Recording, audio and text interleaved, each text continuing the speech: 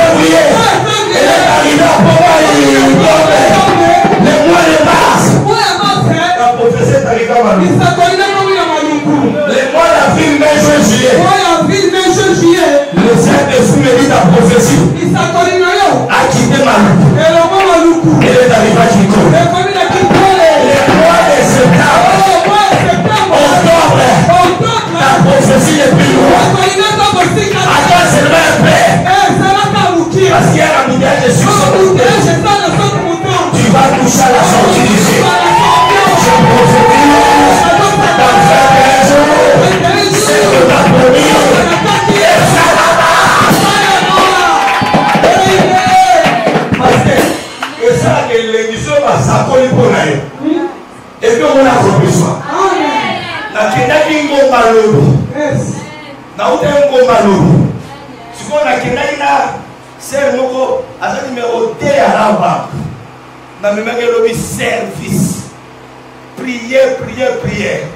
En plein prière, oyebi ke fana yebisa bino na bosani. En plein prière. Toza na réunion mona bango na 16 heures. Molimo na Nzambe bandi koyebisa ngai.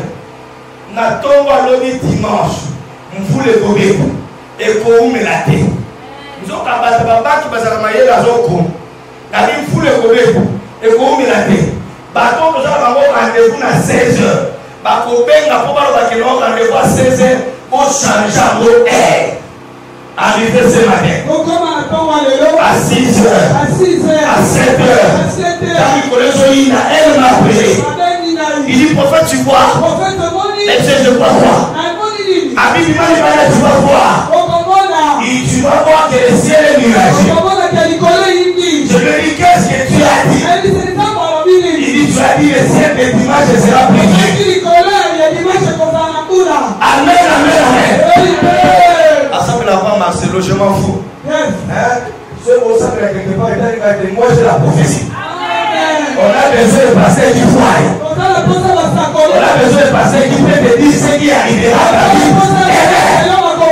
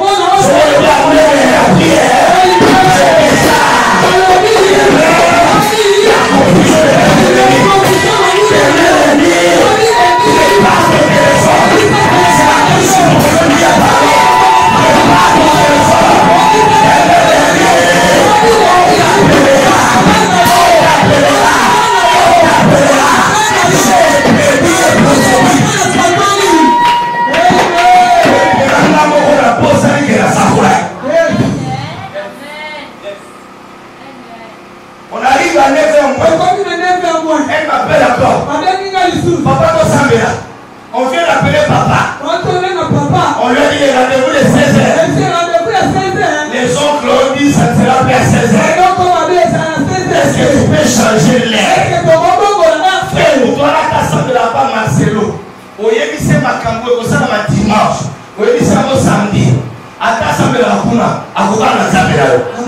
Il est temps de vivre la prophétie. Abaya nasambeli makasi na kopambola yo Silveria. Nasambeli makasi. Oyebi pourquoi nasambeli makasi?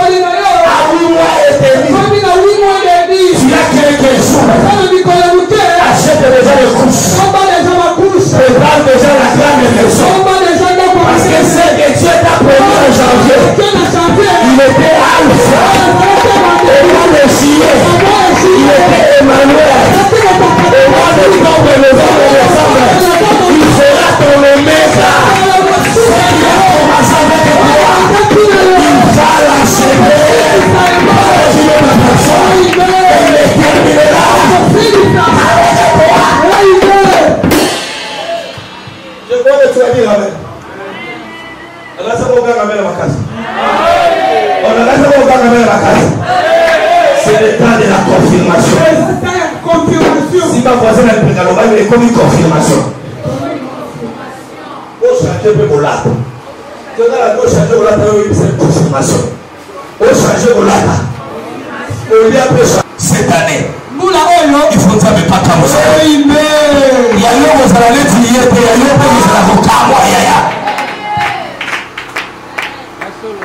nga mpe nazala village na brésil papa na babenisaka bango na mwasi oyo brésilienne suki tiao 23 ans journaliste na ndako ne kitoko aza kitoko avandaka na mbwa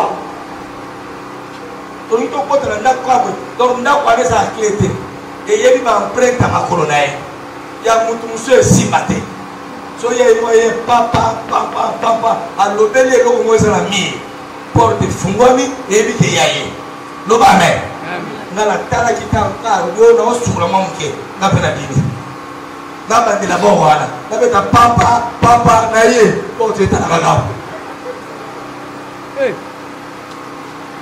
papa ba interpreter ya singa ezali ba interpreter ya empreinte ezali olesika liboko bepa mwinda epeli oyo motu moko akutaka mboka oluka place interpreter ezali amoni interpreter ofula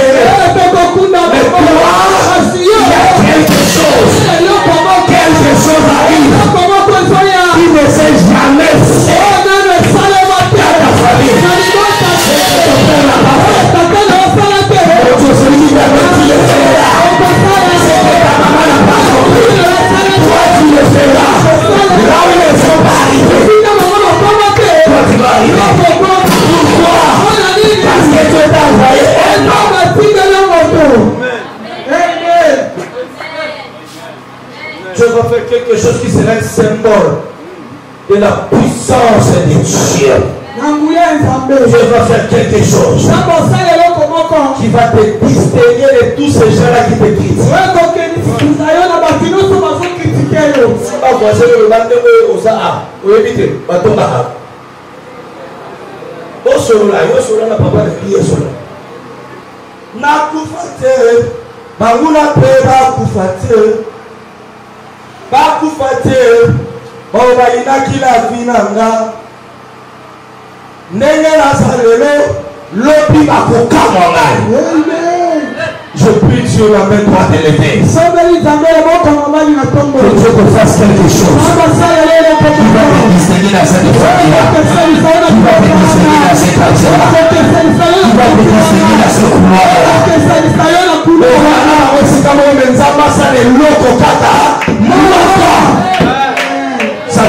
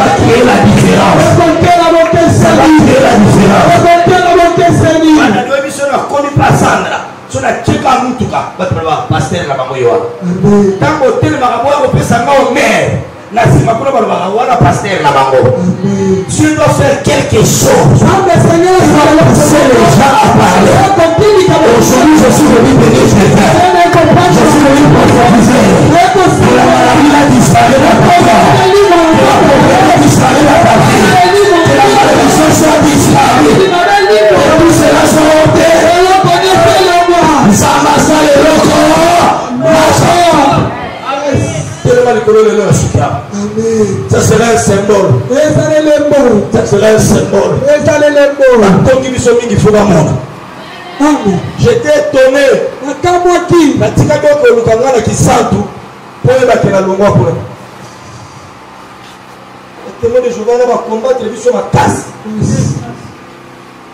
mpe ndako akota toilette bansunga nyonso ya toilette pardon mama omona bato basalaka babiloko bongo yaya moto ya mbongo azalaka lolendo te bato nyonso bazalaka lolendo baya bagera bakopera papa ngai nayebaki akotisela ngai biloko ya solo sikoyo moto apesaka biloko abimaka lokola ye nde nzoka na nsima na ye moto azali so omoni moto abandi ka lolendo eza ye te loba me nsima kozo loba nkita mikita nzambe atombola yo j'étais étonné les bailleurs oyo kutu banda okombate nga aobenga nga o oh, opportunité moko ezali awa namoni ke yo ozalaka na mwa bamoyen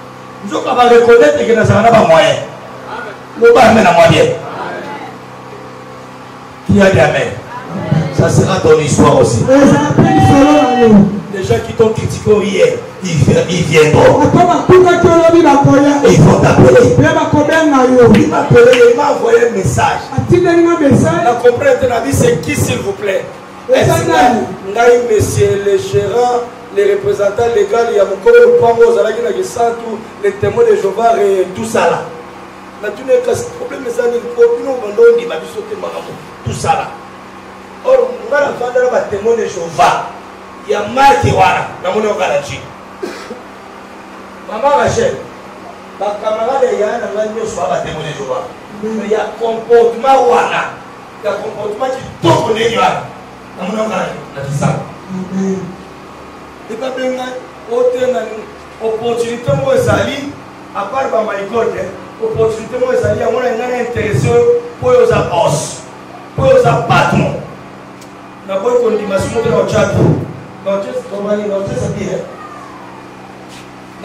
oyebi ke nazala bose ate toyebaka na biso ezala bose abi nayebi mpe kosoni motu kasi nzoka bato oyo bazalaka pembe na biso balandelaka biso si bafransa ba batongaka yo yo toyebaka te